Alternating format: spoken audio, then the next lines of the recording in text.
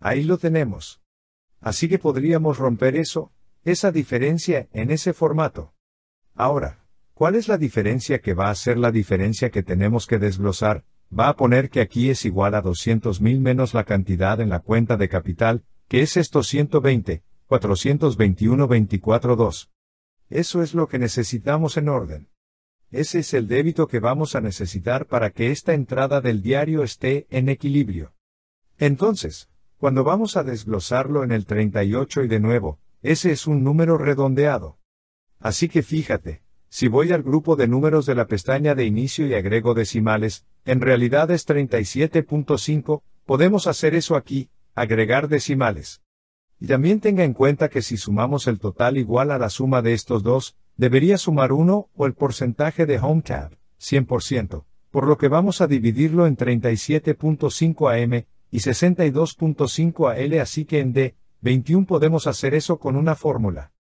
Es igual a 75 8 veces el ser 37.5% significa que vamos a tener que debitar el conteo de capital de M, reduciéndolo en 28.425, en F, 21 es igual a 75 8 veces el 62.5, eso nos da el 47.375, sumamos esos dos por supuesto, eso suma el 75.8.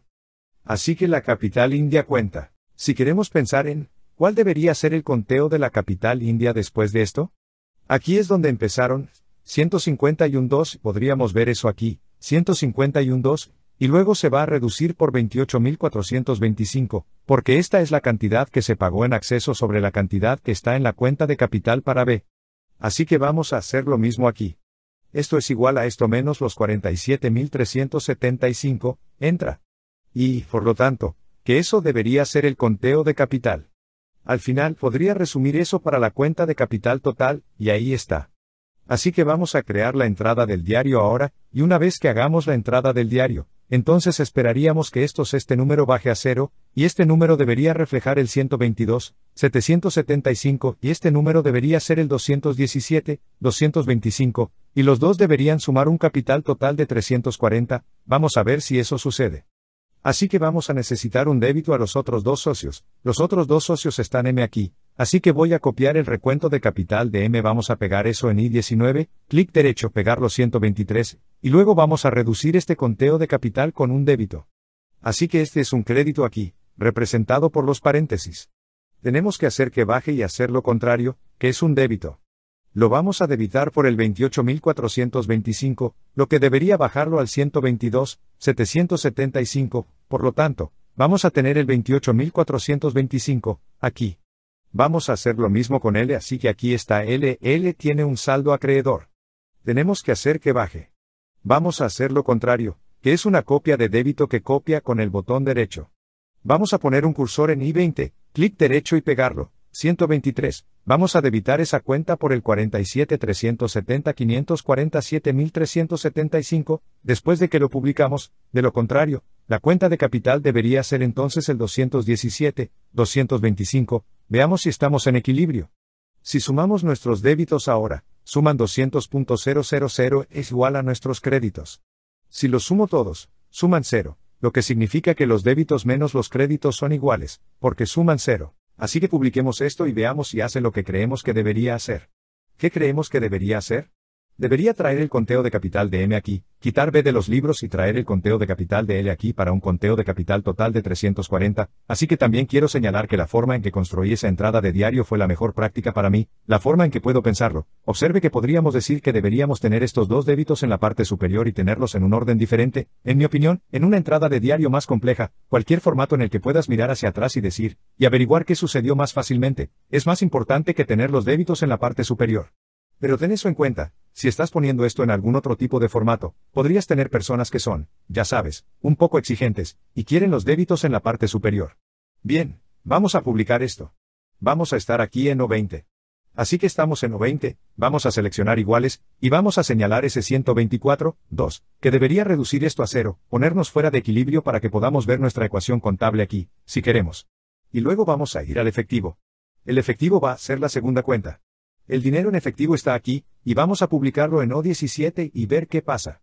Es igual a los 200.000. ¿Qué va a pasar? Bueno, El dinero en efectivo va a bajar eso. Un débito que estamos haciendo lo contrario, a él baja a 350, luego vamos a publicar el recuento de M capital. Así que aquí está M conteo de capitales. Aquí es donde vamos a colocarlo en O19 es igual a, y señalemos que 28.425, eso va a reducir la cuenta de capital de M a 122. 775, entonces vamos a publicar el conteo de capital de L aquí, y vamos a publicar eso a O. 21 es igual y vamos a señalar esos 47.375, eso va a reducir el conteo de capital para L a 217, 225, los dos recuentos de capital ahora suman 340, así que parece que está haciendo lo que esperábamos hacer aquí. Tenemos el 122.7, tenemos el 217.225 y suman el 340 muy bien, así que ahora vamos a tomar un escenario más que será muy similar, y vamos a decir, bueno, ¿qué pasa si tenemos la misma información aquí? Pero ahora B vende la participación de capital a la sociedad por solo 50.000, así que ahora lo estamos vendiendo por 50.000, veamos qué pasaría si eso fuera así. El caso. Así que ahora vamos a hacer lo mismo donde B está vendiendo a M, y L es solo la cantidad que ahora ha diferido. Así que pensemos primero en nuestra entrada de diario, y luego volvamos a la hoja de trabajo. Entonces, primera pregunta, ¿se ve afectado el efectivo? Y sí, el efectivo se ve afectado porque la sociedad está, una vez más, pagando a B para que pague y compre el interés del capital en este caso. Así que el efectivo va a bajar. El efectivo es un saldo deudor. Vamos a hacer que baje haciendo lo contrario, que en este caso sería un crédito, así que voy a copiar el efectivo, lo voy a poner en la segunda cuenta. Así que estoy dentro. Y 31 y 32 y 32 clic derecho pegar, 123, el efectivo que se va a pagar esta vez es solo 50.000, así que vamos a poner un negativo para el crédito 50.000 cuando presionemos Enter. Pondremos los corchetes y todo lo demás alrededor, así que esa es la cantidad de efectivo que se paga. Estamos pagando la cuenta de capital de B así que ahora tenga en cuenta que la cuenta de capital de B está valorada en más de 50.000, así que de nuevo, la pregunta es, bueno, ¿por qué? ¿Por qué? Quiero decir, si la cuenta de capital representa el valor de la empresa y está diciendo que la cuenta de capital y tiene 124, 2, ¿por qué B vendería la cuenta de capital por solo 50? Y, de nuevo, es una negociación entre los socios y el socio. Así que la asociación y el socio. Y podría ser por varias razones. Podría ser que piensen que la asociación está sobrevalorada en algunas áreas. Podría ser que, ya sabes, B realmente lo necesite, necesite irse en algún momento y esté dispuesto a aceptar menos dinero debido a las circunstancias. Entonces, sea cual sea la negociación, es entre el socio y la sociedad. Para nosotros, tenemos que reducir esto a cero. Ahí está el 124, 2b, que ya no está. Entonces, ¿cómo hacemos para que eso se reduzca a cero? Nosotros hacemos lo contrario. Así que vamos a debitarlo. Ese es el crédito representado por los paréntesis. Lo vamos a debitar. Así que voy a copiar eso, voy a ponerlo en el clic derecho de I31, pegarlo 123, y lo vamos a poner allí para 124, 2. Ahora vamos a estar desequilibrados. Por supuesto, tenemos que los débitos son más altos que los créditos en 74.200, vamos a necesitar un crédito de 74.200, que vamos a acreditar en las otras dos cuentas de capital aquí para M y L. M y L van a aumentar sus cuentas de capital en esta cantidad porque pagaron menos del saldo de la cuenta de capital para B, por lo tanto, van a dividir la diferencia de acuerdo con su participación en las ganancias. Entonces, una vez más, ¿cómo vamos a averiguar cuál es su participación en las ganancias? Bueno, teníamos una diferencia de 325, así que una forma de hacerlo es decir, bueno, vamos a hacer un nuevo acuerdo en el que vamos a tener los 3 divididos por en lugar de 10. Ahora tenemos 3 y 5 u 8. Así que 3 sobre 8 y entrar, SSS.375, podríamos hacer ese porcentaje de números de la pestaña de inicio por ciento, y podríamos aumentar los decimales, si queremos ver más precisión aquí, así. Y luego S va, por supuesto. Entonces vamos a N, L, vamos a tener lo mismo. Podríamos decir, bueno, vamos a hacer 5 de 8, 5 de 3 más 5. Así que es igual a 5 sobre 8, y ese será el nuevo porcentaje. Vamos a poner el cursor allí, inicio pestaña, números y porcentaje. Podemos aumentar los decimales que deberían sumar 1 o 100%, así que veamos si ese es el caso. Es igual a la suma. Haga doble clic en la suma, resaltando el 375625, suma 1 o, por supuesto, 100% muy bien. Ahora, Vamos a tener que desglosar esta diferencia entre el precio que era. La ayuda y el monto en el capital cuentan. Entonces, en este caso, la cuenta de capital tenía 124.200 menos lo que se pagó de 50. Esa es la diferencia.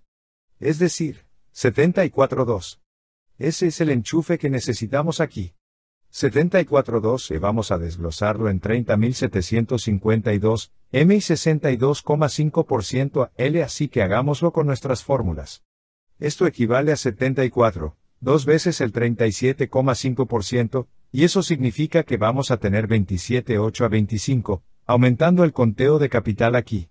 Entonces, en este caso, comenzamos con 151, 2 en el conteo de capital, más los 27.825 vamos a aumentar en el conteo de capital, así que al final del día, y esto aumentará de aquí para acá. Esa es la idea. Y luego vamos a hacer lo mismo aquí en L. Vamos a decir que esto es igual a 74 dos veces el 62.5, y luego vamos a decir que esto es igual a lo que era la cuenta de capital inicial más lo que sube por aquí. Y ahí lo tenemos. Y luego vamos a sumar eso para la cuenta de capital total. Sume aquí los 179.25 y los 310.975 de la cuenta de capital total. Entonces, al final del día, ¿qué va a pasar? El recuento de capital de M va a subir a 179.25b, yendo a cero, y L va a subir a 310.975, para un saldo total de recuento de capital de 490, que es el valor contable de la empresa, teóricamente. Muy bien, vamos a publicar eso aquí. Eso significa que M, nos quedamos aquí con el hecho de que necesitamos algunos créditos para equilibrar esto. Los créditos van a ir a la cuenta de capital de M. M tiene un saldo acreedor. Si volvemos a dar crédito, va a hacer que suba. Así que voy a copiar esto. Vamos a poner el cursor en I33, clic derecho, pegar 123, vamos a acreditar el saldo de la cuenta de capital por 27.825, por lo que es negativo. 27.825, ingrese. Vamos a hacer lo mismo porque L, L va a subir. Tenemos un saldo acreedor aquí. Va a subir en la dirección del crédito. Vamos a copiar eso. Poner el cursor en el clic derecho y 34.